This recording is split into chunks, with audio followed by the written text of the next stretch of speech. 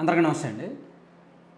మొన్న షర్మిల గారికి షర్మిల గారి విషయంలో సీఎం జగన్మోహన్ రెడ్డి గారు చేసిన ఒక కామెంటు కాస్త వైరల్గా మారుతోంది. మంచి సబ్ అంటే జగన్మోహన్ రెడ్డి గారు ఎందుకు ఇలా మాట్లాడారో అని ఈవెన్ వైసీపీ వాళ్ళు కూడా ఫీల్ అవుతున్నారు. ఎందుకంటే ఆయన అక్కడ రజనీకాంత్ గారు ఒక ప్రశ్న అడిగారు. షర్మిల గారి విషయంలో మీ మీద అనేక ఆరోపణలు వస్తున్నాయి కదా. షర్మిల గారికి ఎందుకు అంటే ఆమెను రాజకీయంగా వాడుకొని వదిలేశారు. ఆమె ఇప్పుడు మీకు వ్యతిరేకంగా మారారు కదా అనే ప్రశ్న వేసినప్పుడు జగన్మోహన్ రెడ్డి గారు ఏమన్నారంటే సి ఆమె వాళ్ళతో కలిసింది వాళ్ళు ఆమెను రాజకీయంగా వాడుకుంటున్నారు తిప్పుతున్నారు ఆమె ద్వారా వైసీపీ అనుకూల ఓటు చీల్చి రాజకీయంగా వాళ్ళు లబ్ధి పొందాలని చూస్తున్నారు. ఆమెకు ఏమైనా పదవి ఇచ్చినా పార్టీలో ఉంచి పదవి ఇచ్చినా ఏ రాజ్యసభ లోక్సభ ఏమైనా ఇచ్చినా సరే మళ్ళీ నెపోటిజం అని మీరే అంటారు అని చెప్పి ఆయన ఎదురు అన్నారు అంటే షర్మిల గారికి పదవి ఇస్తే నెపోటిజం అని అంటారు. అందుకని నేను ఇవ్వలేదు అని జగన్మోహన్ రెడ్డి గారు తప్పించుకునే ప్రయత్నం చేశారు. ఏది నెపోటిజం ఇప్పుడు జరుగుతున్నది కాదా? అసలు నెపోటిజం ఎవరి దగ్గర లేదు? ఏ పార్టీలో లేదు? చంద్రబాబు గారు ఉన్నారు లోకేష్ గారు ఉన్నారు బాలకృష్ణ గారు ఉన్నారు భరత్ గారు ఉన్నారు. సో వాళ్ళు అదే కోవలో ఉన్నారు కదా? సో వాళ్ళు అదే కోవలో ఉన్నప్పుడు వైసీపీని ఎందుకంటారు? ఈవెన్ జగన్మోహన్ రెడ్డి గారు ఆయన పార్టీలో లేదా? ఆయన పార్టీలో అందరికి ఇచ్చుకున్నారు. ఇప్పుడు వైవి సుబ్బారెడ్డి గారు ఆ, కుటుంబ సభ్యుడేగా? ఆయనకు రాజ్యసభ ఇచ్చారుగా? అవినాష్ రెడ్డి గారు ఆ కుటుంబ సభ్యుడేగా? ఆయనకు రెండోసారి కూడా ఎంపీ పదవి ఇచ్చారుగా? రెండోసారి ఏంటి? మూడోసారి కూడా ఎంపీ సీట్ ఇచ్చారుగా? అలాగే ఆ కుటుంబానికి చెందిన ఎంతోమందికి అక్కడ పెత్తనం ఇవ్వలేదా? అక్కడ ఇన్ఛార్జిగా ఇవ్వలేదా? అక్కడ పదవులు ఇవ్వలేదా లోకల్లో? చాలామందికి పదవులు ఇచ్చారు కదా. సో వాళ్ళందరికీ పదవులు పెత్తనాలు ఇస్తున్నప్పుడు లేనిది షర్మిల గారికి ఇవ్వడానికి ఇబ్బంది ఏంటి? పార్టీ కోసం పాదయాత్ర అవినాష్ రెడ్డి గారు చేశారా? రాష్ట్రం మొత్తం పాదయాత్ర అవినాష్ రెడ్డి గారు చేశారా? రెండు వేల పదమూడు రెండు వేల పద్నాలుగు ఎన్నికలకు ముందు వైఎస్ఆర్ కాంగ్రెస్ పార్టీ ఆవిర్భవించిన కొత్తలో జగన్మోహన్ రెడ్డి గారు జైల్లో ఉన్నప్పుడు పాదయాత్ర ఎవరు చేశారు పార్టీ కోసం? అవినాష్ రెడ్డి గారు చేశారా? భాస్కర్ రెడ్డి గారు చేశారా? వైవి సుబ్బారెడ్డి గారు చేశారా? లేదా ఈ జగన్మోహన్ రెడ్డి గారు చుట్టూ ఉన్న వైఎస్ ఫ్యామిలీకి సభ్యులు ఎవరైనా చేశారా? అప్పుడు చేసింది షర్మిల గారు.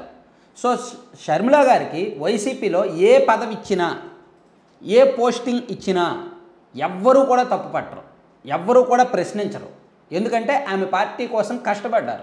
ఆమె పార్టీ పునాదుల్లో ఆమె కూడా భాగస్వామ్యం కీలకమైన పాత్ర పోషించారు. సో ఇది తప్పించుకోవడానికి చెప్పిన మాట.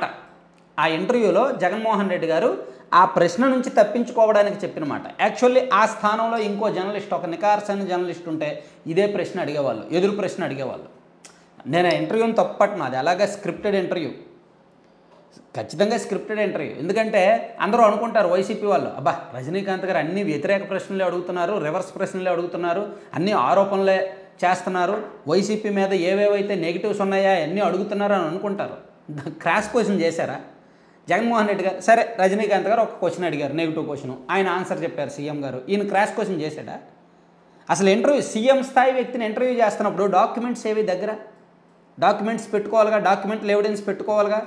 సార్ మీరు పోలవరం ఎంత కట్టారు? ఇదిగో నా దగ్గర డాక్యుమెంట్స్ ఉన్నాయి. సార్ మీరు ఎంత అప్పులు చేశారు? ఇదిగో నా దగ్గర డాక్యుమెంట్స్ ఉన్నాయి. వివేకానంద రెడ్డి గారి హత్య కేసులో ఇదిగో సిబిఐ ఇచ్చిన ఛార్జ్ షీట్ ఉంది. ఇదిగో వివేకానంద రెడ్డి గారి కేసులో మీరే హైకోర్టులో పిటిషన్ వేశారు సిబిఐ విచారణ కావాలని. నా దగ్గర మీరు వేసిన పిటిషన్ ఉంది. మళ్ళీ మీరే సిబిఐ విచారణ అవసరం లేదని చెప్పి పిటిషన్ వెనక్కి తీసుకున్నారు. ఆ కాపీ కూడా నా దగ్గర ఉంది. అని అడగాలిగా? నిజమైన ఇంటర్వ్యూ అంటే అది. నిజమైన జర్నలిస్టు నిఖార్సైన జర్నలిస్టు చేసే ఇంటర్వ్యూ అంటే అది. అంతే తప్ప మొన్న జరిగిన ఇంటర్వ్యూ ఇంటర్వ్యూనే కాదు. ఎంత నెగిటివ్ క్వశ్చన్స్ అడిగినా అందులో క్రాస్ క్వశ్చన్ వేయాలి. క్రాస్ క్వశ్చన్ వేస్తేనే అది సరైన ఇంటర్వ్యూ కిందకు వస్తుంది. లేదా ఎవిడెన్స్ డాక్యుమెంటల్ ఎవిడెన్స్ అక్కడ పట్టుకొని మాట్లాడాలి. అట్లీస్ట్ లాజికల్ ఎవిడెన్స్తో అయినా సరే మాట్లాడాలి. అక్కడ లాజికల్ ఎవిడెన్స్తో మాట్లాడలేదు డాక్యుమెంటల్ ఎవిడెన్స్తో మాట్లాడలేదు. జస్ట్ ఈయన అడిగారు ఆయన చెప్పారు మళ్ళీ నెక్స్ట్ క్వశ్చన్స్కి వెళ్ళిపోయారు. అంటే అక్కడ వైసీపీ మీద ఏమేమి ఆరోపణలు వస్తున్నాయో ఆ ఆరోపణలకు ఆయన సంజాయిషి ఇచ్చుకున్నట్టు ఉంది ఇంటర్వ్యూ సరే ఆ ఇంటర్వ్యూ సంగతి ఎందుకు పక్కన పెట్టేద్దాం కానీ అక్కడ నెపోటిజం అని జగన్మోహన్ రెడ్డి గారు అన్న మాటల గురించి నేను చెప్తున్నా. ఏది నెపోటిజం కాదు. ఎవరు చేయట్లేదు అసలు. అది ఆలోచించాలి. నిజంగా ఓపెన్గా చెప్తున్నానండి షర్మిల గారికి ఏ పదవి ఇచ్చినా తక్కువే వైసీపీలో. ఆమె పార్టీ కోసం మూడు వేల కిలోమీటర్లకు పైగా పాదయాత్ర చేశారు. ఈవెన్ ఆమె మోకాలు నొప్పి వచ్చినప్పుడు మధ్యలో పాదయాత్రకు బ్రేక్ ఇచ్చి మళ్ళీ పాదయాత్ర కొనసాగించారు. ఆమెకేం అవసరం? ఆమెకు తెలుసు పార్టీ అధికారంలోకి వచ్చినా తనకు సీఎం పదవి ఇవ్వరనే సంగతి ఆమెకు తెలుసు. తన అన్న జైలు నుంచి బయటకు వచ్చిన వెంటనే పార్టీ తన చేతుల్లోనే పెట్టేయాలనే సంగతి ఆమెకు తెలుసు. కుటుంబంలో అంతర్గతంగా ఏం జరుగుతుంది అనే విషయం తనకు తెలుసు. అవన్నీ తెలిసినా సరే ఆమె పార్టీ కోసం త్యాగం చేశారుగా కష్టపడ్డారుగా. మరి ఆమెకు పదవిస్తే నెపోటిజం అడ్డం వస్తుందా?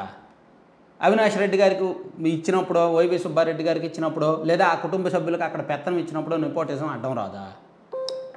సో ఆలోచించాలి. రాష్ట్ర ప్రజలు ఆలోచించాలి. ఇక్కడ ఆలోచించాల్సింది ఓటు వేయాల్సింది షర్మిల గారికి మద్దతు ఇవ్వాలో లేదా అవినాష్ రెడ్డి గారికి మద్దతు ఇవ్వాలో జగన్మోహన్ రెడ్డి గారికి మద్దతు ఇవ్వాలో తేల్చుకోవాల్సింది కడప పార్లమెంటు ప్రజలే. Thank you